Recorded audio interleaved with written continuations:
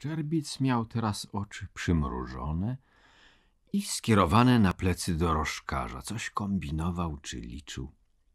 Proszę pani, rzekł niespodziewanie, z oczyma błyszczącymi jak brylanty. Jeśli sobie tylko pani życzy, niech pani jedzie do Rzymu. Wyszeptał gwałtownie. Roześmiała się dobrodliwie. Wydał jej się arcyzabawnym ze swą nieznajomością życia. Mówię poważnie, nastawiał hrabia. Jeżeli takie jest życzenie pani, to niech je pani wykona. Jest to obowiązek. Ależ za co? Moją pensję prawie w całości zabiera lichwiarka, od której pożyczyłam pieniędzy. Resztę biorą rodzice. Te suknie, co mam na sobie, biorę na kredyt za poręczeniem lichwiarki barnawskiej. A muszę się ubierać przyzwoicie, bo to należy do mego fachu. Wszystko to, lichwiarka, rodzice, cukiernia, wszystko to nic nie znaczy. Dla pana, tak, ale dla mnie? Szczerbic uczynił znak ręką, że nie chce mówić przy dorożkarzu. Jednocześnie zawołał na tego woźnicę, żeby stanął. Zaproponował Ewie chwilę przechadzki w oddalonej części parku nad wodami łazienkowskimi. Dorożkarzowi kazał zaczekać. Wśród drzew leżał lód na szerokich drożynach. Szli ostrożnie. Gdy byli daleko od powozu, Szczerbic zaczął mówić z żywością. Pani Ewo, przysięgam na mój honor, że w tym, co zaproponuję, nie mam żadnego wyrachowania, że nie knuję żadnego zamachu na panią, że nic złego nie mam na myśli. Jestem winien wobec Łukasza Niepołomskiego, a nadto, a zresztą tak się wszystko złożyło. Otóż proszę, niech pani jedzie do Rzymu i zostanie tam aż do chwili uwolnienia narzeczonego z więzienia. Ja wszystko zapłacę. Nie, krzyknęła, spoglądając na niego z podełba oczyma, które przez mgnienie złowrogo zaświeciły. Jeszcze nie powiedziałem. Zapłacę długi, które pani ma, Uwolnię panią z więzów i pożyczę tyle, ile będzie trzeba na drogę i na przeżycie w Rzymie. Gdy pan Niepołomski skończy karę i zacznie pracować, oddacie mi wszystko. Wzięłam od pana kilkadziesiąt rubli, ale wówczas byłam bez sił. Teraz mogę robić. Nie jestem jeszcze tak podła, żebym się miała sprzedawać.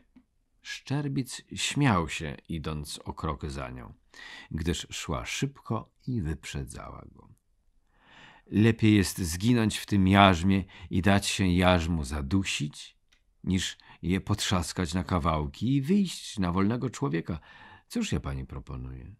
Używa pani wyrazów. Już ja wiem, co mówię. Nie, pani się myli w stosunku do mnie. Na początku tej rozmowy powiedziałem, daję słowo honoru, że nie knuję podstępu. Pani na to nie raczyła zwrócić uwagi. Czy pan się mną interesuje tylko ze względu na Łukasza? Czy nic innego? Niech pan da na to słowo honoru. Nie, na to nie dam słowa honoru, krzyknął wyniośle. Są i inne względy. Piękność pani powinna zasiadać na tronie, nie wśród kelnerów i lowelasów modnego szynku. Myślę sobie, że dobrze czynię, wydobywając panią z tego odmętu pospolitości. W zysku, wyznaję, miałbym to szczęście, że mógłbym z oddali patrzeć na panią, czasem rozmawiać, myśleć, że jestem czymś, że jestem. Spojrzała na niego z podziwem. Ujrzała oczy jego napełnione mgłą, cicho wyszeptała: Nie mówmy już o tym, proszę pana. Pojechalibyśmy, jeśli by była taka pani wola, w jednym pociągu, ale w osobnych wagonach. Stawalibyśmy w innych hotelach. Moglibyśmy wcale nie rozmawiać ze sobą, jeśli by taka była wola pani. W Rzymie moja rola byłaby taka, żeby pani ułatwić widzenie się z mężem i wyrobić pozwolenie na częste odwiedzanie go. Najęłaby sobie pani mieszkanie, z łatwością znalazła pracę. A pan? Ja nazajutrz po załatwieniu spraw pani pojadę na Rivierę i więcej pani dręczyć nie będę. Tak, To cudowny projekt. Ów mój natychmiastowy wyjazd z Rzymu? Nie. Więc co? Nie wiem.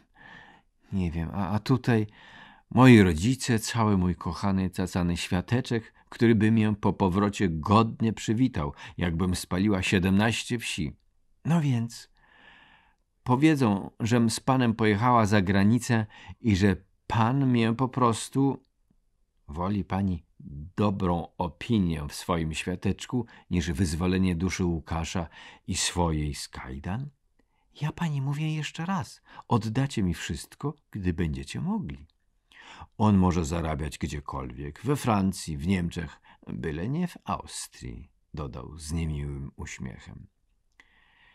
Jego żona zgadza się na rozwód, szeptała Ewa w zamyśleniu, na wpół do Szczerbica, na wpół do siebie, cicho, jak głęboką tajemnicę. Mogłabym mu zawieść dar, własną jej ręką wystawione żądanie rozwodu. Moglibyśmy wziąć tam ślub. O Boże mój, Boże mój, po co mi pan to wszystko ukazał?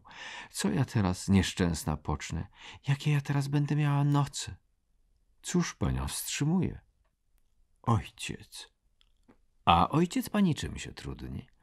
Mój ojciec, rzekła z błędnym uśmiechem, szuka zawsze posady. Jest to moje jedyne, kochane, najmilsze, niewinne, bezradne dziecko. Stary malec. Jeżeli go i teraz rzucę, to już z kretesem zginie. Och, już wtedy zginie. Ma długi, a właśnie znowu stracił posadę.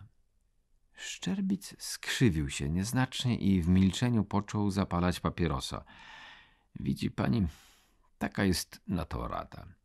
Obecnie wiele bym dać nie mógł, ale na przykład spłaci się długi ojcowskie i to zaraz, jeśli, dajmy na to, nie przekraczają tysiąca rubli.